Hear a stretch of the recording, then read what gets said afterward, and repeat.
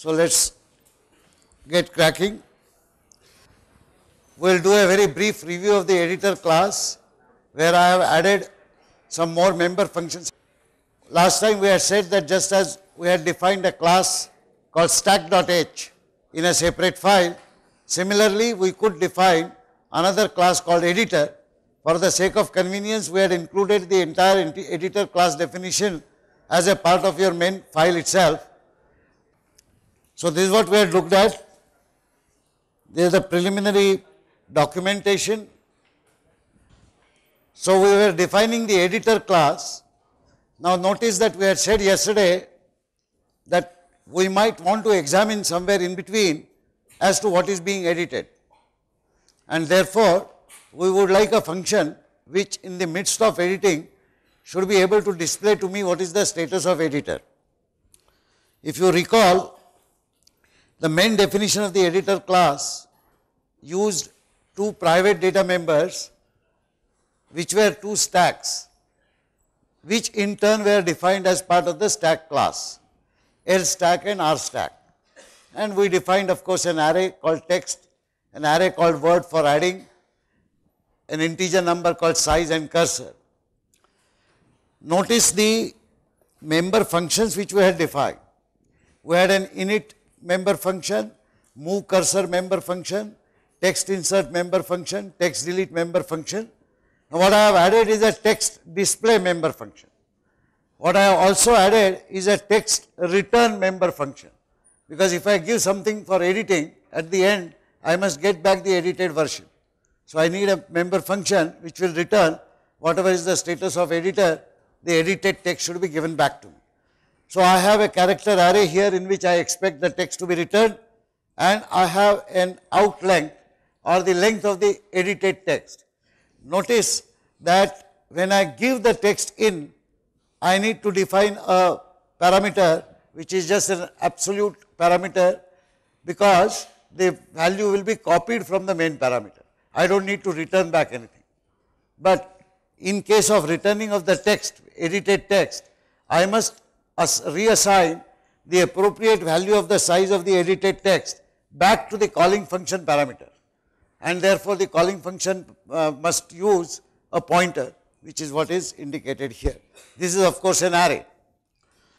So we will look at, we will just go through the other function definitions which we have already seen, but we will specifically look at the definition of the two new functions which we have defined here, text display and text return.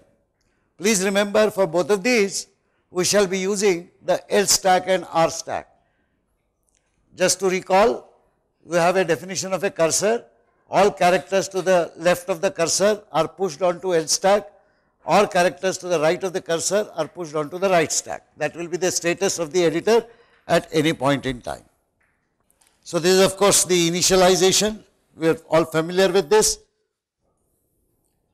I just push the text into an internal array and then I initialize these two stacks and I push all my characters onto the right stack. So whatever is the size, from size minus 1 to 0, because I have to push the characters, the last character should be the first one to be pushed in, because that is the order in which the characters should appear on the stack. Move cursor is very straightforward. I just check whether the cursor is within bounds. If not, I give error messages. Otherwise, depending upon whatever is the cursor position relative to the new cursor position where I want to move, I will shift characters either to left stack from right stack or to right stack from left stack. So, it is a very simple implementation. Again, the way how the stacks are handled is hidden from us, it is part of stack.h. So, as long as I use push and pop commands, I am comfortable that the commands will be executed properly. Text insert member function will insert some text at the cursor position to the left of it as we said. We will expect a word to be added to be given to us along with its length. We are just temporarily pushing it into an internal array here, word i, and then we find out the length of that word. So notice that this int length which is given is irrelevant because we are using our own calculation here if the size, total size after addition of the word becomes larger than the capacity, I say sorry. Otherwise, I will just push every character in that word onto the left stack, which is what is text insertion. This is the text display function. You will recall we had mentioned yesterday that since I know the cursor and since I know all characters to the left of the cursor are in left stack and right of the cursor on the right stack, I could write a display function by which I could pop out all characters from both the stacks and display them. So it is entirely possible to display characters in this display function itself. However, that would be a destructive operation. Why? Because the stack continues to contain the text to be edited. I have not yet finished editing. I might want display at any point in time just for cross check. In which case, it is not proper to destroy the contents of the stacks. And that is why if we want to use this display, then I have written another function as a part of the stack family. So the stack class, why, why I need to do that? I could have very well popped characters from left stack and right stack and showed them uh, whenever display function is invoked, but then I will have to remember all the text and again push them back. And that could be a lot of work if there are millions of characters. Now this is happening because I have no access directly to the arrays which contain the characters in L stack and R stack. Please remember the stack.h implementation of the class internally used a member data element which was an array.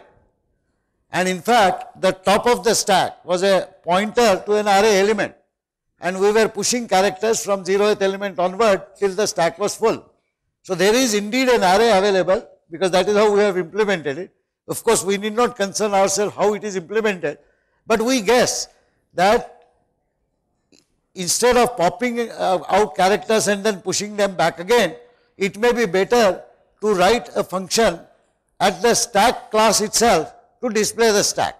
Because then, whatever be the internal implementation, the stack class will, member functions will have access to those private data elements. And therefore, without moving characters anywhere, I could just access the array directly and display all the elements that I wanted. So that is why I am displaying the stacks. So I display the stack of characters before the cursor by saying L stack dot display and after the cursor by saying R stack dot display. The issue is how would the stack dot display function work? So any idea on how this will work? Recall the stack implementation. In the stack implementation, we had an array S. This was the zeroth element, first element, second element and so on. How many elements would be there in a stack at any point in time? The maximum capacity is of course the text size. So whether it is left stack or right stack, each stack that we create will have a member element of this array which will be called S. So any stack, within the stack implementation, what is the position indicator of where the last character has been pushed onto the stack? Do you remember? No. We had declared a variable called int tops. And in fact, we were pushing characters, whenever we push character or pop character command was given, the internal implementation in stack was that we increment tops. We actually push the character and then increment tops. And if we want to pop, we reduce the tops value by 1 and then take out excess that array. So internal representation uses this S array. So wherever I want to display any character, the best bet would be to display the corresponding character in the array directly. I don't have to do any push or pop. And push or pop can be done at the higher level, but the implementation has to be done at the stack level. So I can't access this array outside the class stack. I can access this array only within the class stack. That is why the function display, which is required at the editor level, the activity has to be pushed down to the stack level for efficiency's sake. So at in any stack, the display function will say that I want to display how many characters? Starting with 0, 1, 2, etc., etc., up to a point. What is that point? The value of tops. Whatever is the value of tops for that particular stack, there are characters up to that. So consequently, I can simply put an iteration which will say for i is equal to 0, i less than tops, i plus plus, and I can simply say C out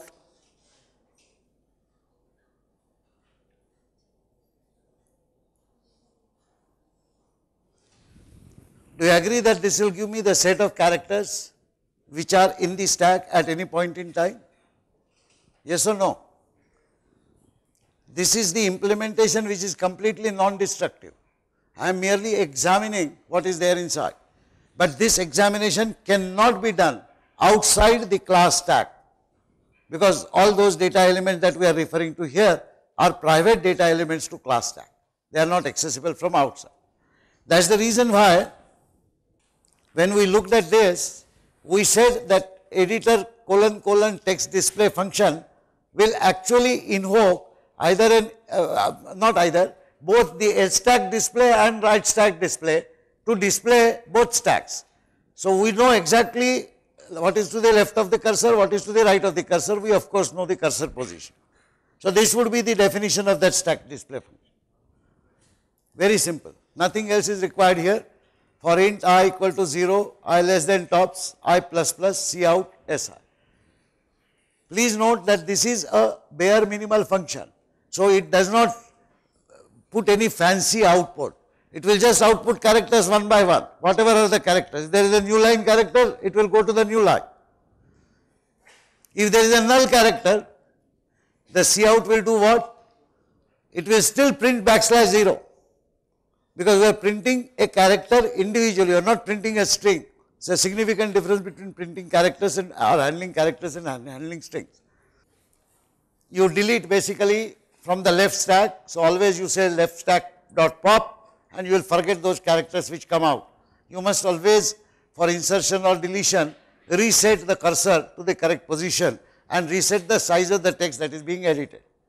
This is the additional member function that we have written because anytime we give a text to be edited, then that editing will happen through the edit commands which we had briefly described last time and which we just glossed through, namely insert a word, move cursor, delete so many characters and there is a command called quit. Now obviously when we quit, we want the edited text to be returned to us and that is why this function. So observe what this function does. Notice that this is star out length. So it will set star out length to size, whatever is the current size. This size is the totality of characters on the left stack and right stack together. That is the edited text. Now if cursor is 0, that is fine. But if cursor is not 0, that means there are some characters on this side and some characters on that side. So I move cursor to 0. Observe that when I move cursor to 0, this is an editor command itself. But this function will pop all characters from the left stack and push them onto the right stack. So I will have all my text which has been edited on the right hand side stack. And once I have that, I will insert every character into the text array. Of course, if I wanted to be more efficient, I could have done this assignment from both left stack and right stack by popping characters, but my logic would become more complicated. So this is a case where clearly some loss of efficiency is alright for simplicity of code, or for straightforwardness of the code. When I go back in this array, I will have the return text or edited text. The main program itself, I have all these things. The difference now is last time we had seen a sample editing where the editing commands were incorporated in the main program itself. But our idea is to permit editing by any user who gives editing commands on the keyboard and the editing commands could be insert, move, delete, etc. And the text itself would be available in some file.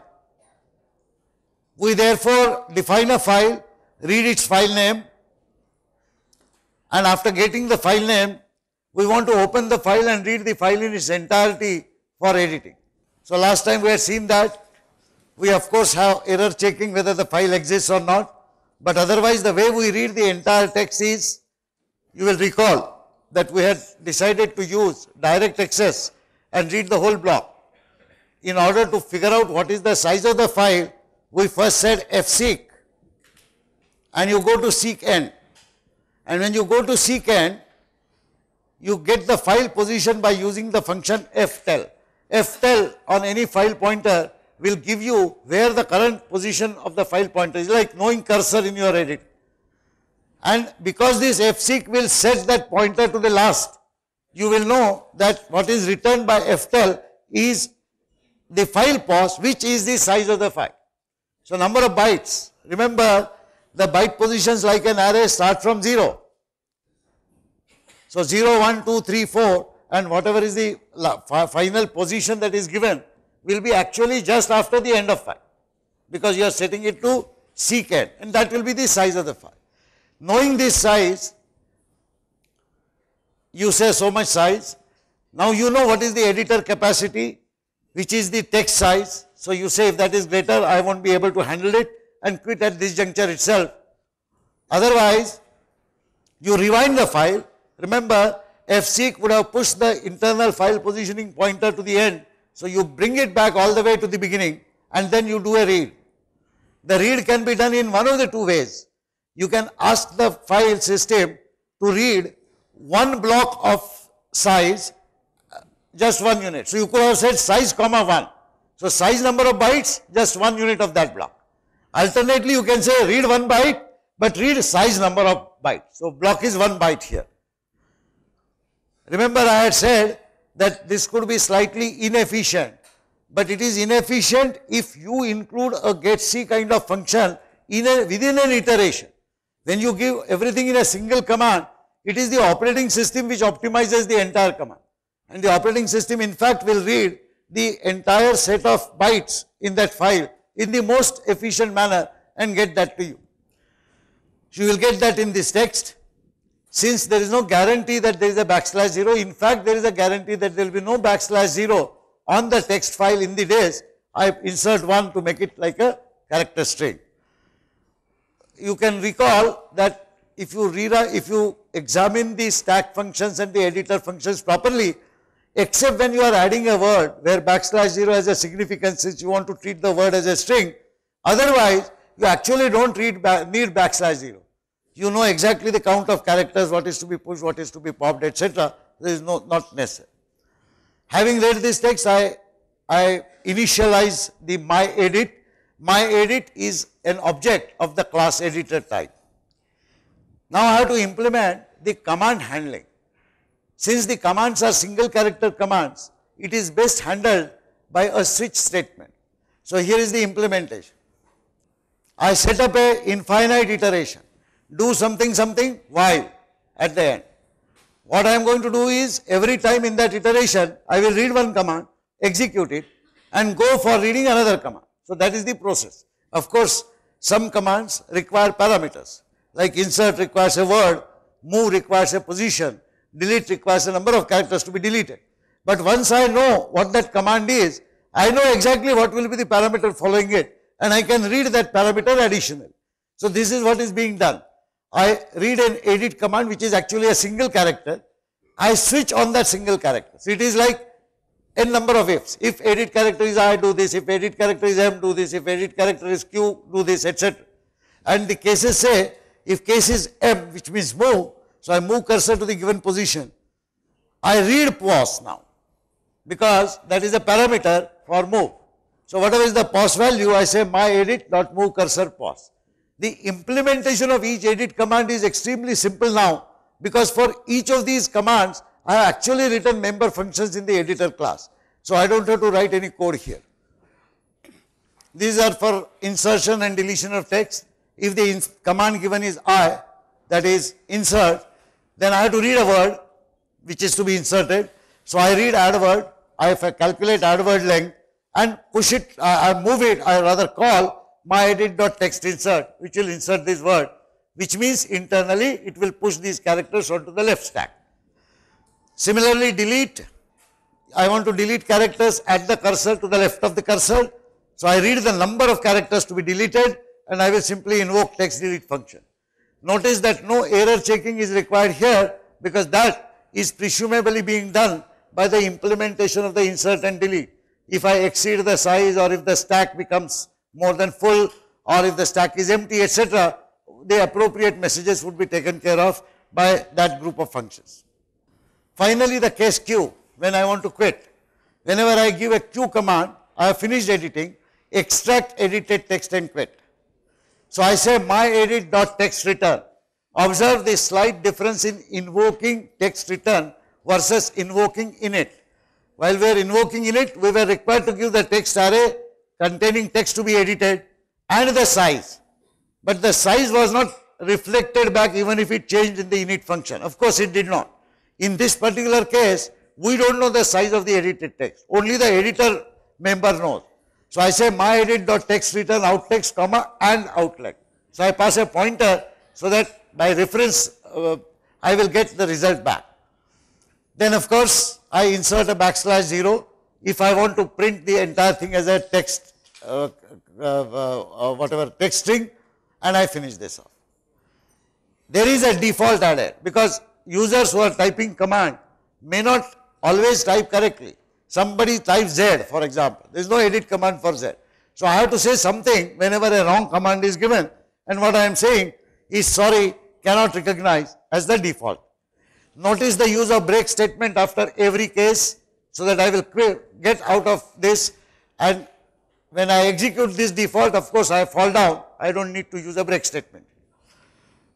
This may not be adequate checking. There is an additional possible of error when users give say insert and do not give a word at all or they say delete and do not give a number, they give some abracadabra string. It is therefore normally what is done professionally is you do not at all believe that the user input will be correct. You always capture characters, analyze those characters, use functions like is numeric, is alpha to ensure what that character is and then extract it using just like you have uh, scanf, you have scanf. So you can do a scanf or string scanf. So assemble all the input characters in a string and do an scanf after validating every character to be right. That is the work that you need to do. But if nothing is there, that uh, the wrong character is given, you just get out. So you see these few lines of code, M for move, implemented by a single line of code actually, I for insert, implemented again by one input and text insert, D for delete, implemented by using text delete, Q for quit, implemented by invoking text return and invoking default for anything else. That's, that's how simple the editor functionality becomes. Remember the do statement at the beginning? We said there will be infinite loop where I'll be keep, I'll keep reading characters. So I have this while edit command is not equal to q. If edit command is q, I get out, otherwise I go back and look for another command. And all that I say is size of edited text is so and so, and I output the output text. So this is how the editing would be performed. Here is a sample text. Enter the name of the file. I have entered some sample text in mytext.txt. Text to be edited is Hello CS101 students, greetings for the festive season. Do not forget your weekly report. Goodbye. Now, let us say one of my TA points out that look, a number of students will be enjoying Diwali vacation and anyway the final report submission is going next week.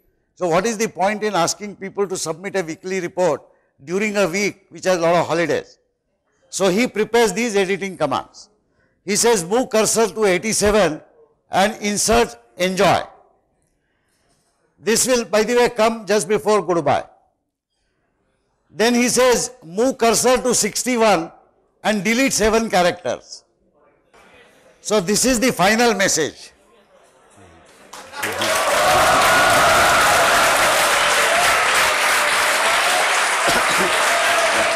please, please. Uh,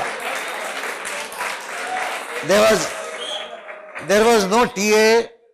When I was constructing an example, I realized that next week, because of the number of emails that I have got saying I am going away, I am going away, etc., etc., the batches may not be functioning at full strength for their project during the next week. I realize that. However, there is one caveat to this. This is, by the way, the true announcement. So you don't have to submit a weekly report next week. However, the individual members of the batch must uh, remain accountable to the progress of the project because the next week is your final submission. And therefore, set up an email contact or whatever it is, spend at least one or two hours during the festive days, but do contribute so that your project turns out to be best. Don't forget that the project evaluation has a very large share of percentage of the evaluation. Thank you.